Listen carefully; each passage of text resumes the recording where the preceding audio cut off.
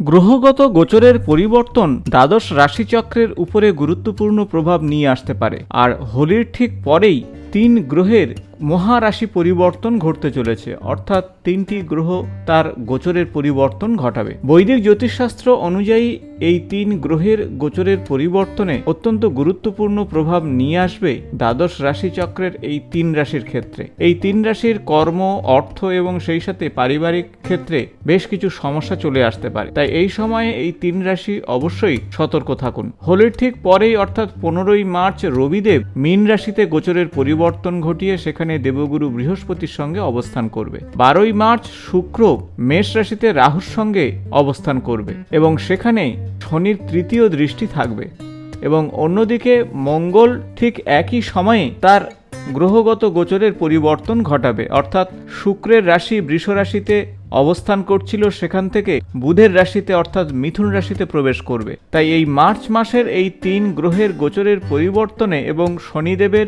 উত্থানের ফলে তিনটি রাশির ক্ষেত্রে বেশ কিছু সমস্যা চলে আসতে পারে। তাই এই ভিডিওতে আমরা জেনে নেব কোন তিন রাশির জীবনে গুরুত্বপূর্ণ, অশুভ প্রভাব আসতে পারে।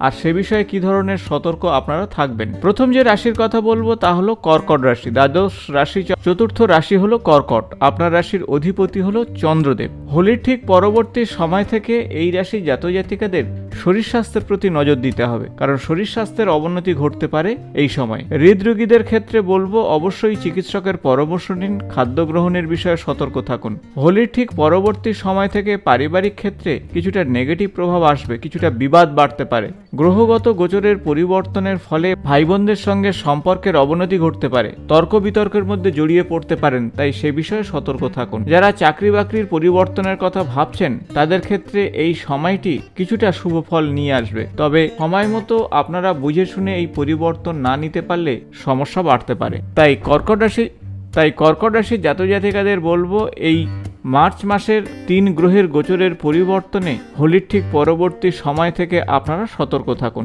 বৃশ্চিক রাশি জাতজাতিকাদের ক্ষেত্রে বলব, দ্বাদশ রাশিচক্রের অষ্টম রাশি হল বৃশ্চিক, আপনার রাশির অধিপতি মঙ্গল। তাই হোলির পরবর্তী সময়ে আর্থিক লেনদেন সংক্রান্ত বিষয়ে সতর্ক থাকুন। ব্যবসা সংক্রান্ত বিষয়ে যারা যুক্ত রয়েছেন, তারা সতর্ক থাকুন এই সময়। বিনিয়োগ সংক্রান্ত বিষয়ে অভিজ্ঞ মানুষের পরামর্শ নিয়ে বিনিয়োগ না করতে পারলে আর্থিক সংকটে পড়তে পারেন বা প্রতারিত হতে পারেন। যারা দীর্ঘদিন রোগের বিষয়ে কষ্ট পাচ্ছেন, বিশেষত লিভার বা কিডনি সংক্রান্ত সমস্যায়, তারা সতর্ক থাকুন। প্রয়োজনে ডাক্তারবাবুর পরামর্শ নিন। বাইরের খাবার দাবার এড়িয়ে চলুন। এই গ্রহগত গোচরের পরিবর্তনের ফলে মানসিক ক্ষেত্রে কিছুটা অস্থিরতা দেখা দিতে পারে। তাই সিদ্ধান্ত গ্রহণের বিষয়ে কিছুটা নেগেটিভ প্রভাব আসবে, তাই সে বিষয়ে সতর্ক থাকুন। যোগা মেডিটেশনের মাধ্যমে এই সময়কে অতিবাহিত করুন। গাড়ি চালানোর বিষয়ে সতর্ক থাকুন। গাড়ির গতিকে নিয়ন্ত্রণ করুন এবং অবশ্যই আপনারা প্রতিটা কাজের বিষয়ে গৃহের বড়দের সঙ্গে পরামর্শ করলে ভালো ফল পাবেন। ঊর্ধ্বতন কর্তৃপক্ষের কাছ থেকে পূর্ণ সহযোগিতা নাও পেতে পারেন এই সময়। রাজনীতির সঙ্গে যারা যুক্ত রয়েছেন, তাদের ক্ষেত্রে কিছুটা হতাশা আসতে পারে। তাই সার্বিক দিক থেকে বৃশ্চিক রাশির জাতজাতিকাদের হোলির ঠিক পরবর্তী সময় থেকে কিছুটা একটা নেগেটিভ প্রভাব আসতে পারে। পরবর্তী যে রাশির কথা আলোচনা করব তা হলো কুম্ভ রাশি। কুম্ভ রাশি জাতজাতিকাদের ক্ষেত্রে বলব যে আপনার রাশি হলো দ্বাদশ রাশিচক্রের একাদশতম রাশি এবং শনিদেব হলো আপনার রাশির অধিপতি। হোলির ঠিক পরবর্তী সময়ে কর্মক্ষেত্রে অলসতা চলে এলে কিন্তু সমস্যা বাড়বে, তাই কাজের প্রতি পূর্ণ মনোনিবেশ করুন, সতর্ক থাকুন, তা না হলে সমস্যা বাড়বে। নির্দিষ্ট লক্ষ্যকে স্থির রেখে এগিয়ে না গেলে আপনি সফলতা পাবেন না। মন কিছুটা বিক্ষিপ্ত থাকবে, কর্মক্ষেত্রে বাধা চলে আসবে। এই সময় অর্থ ধার দেওয়ার বিষয়ে সতর্ক থাকুন। ঋণ সংক্রান্ত সমস্যা বাড়তে পারে এই সময়। শ্বশুরবাড়ির পক্ষ থেকে আর্থিক লেনদেনের বিষয়ে সতর্ক হতে হবে, তা না হলে সম্পর্কের অবনতি ঘটবে। প্রেমিক প্রেমিকার মধ্যে সম্পর্কের অবনতি ঘটতে পারে এবং প্রতারিত হতে পারেন। বিপরীত লিঙ্গের প্রতি আকর্ষণ বাড়লেও খুব ভেবেচিন্তে সিদ্ধান্ত না নিলে অর্থ এবং মান সম্মানের ক্ষেত্রে সমস্যা বাড়তে পারে, অর্থাৎ মানহানির মতন সমস্যা চলে আসতে পারে।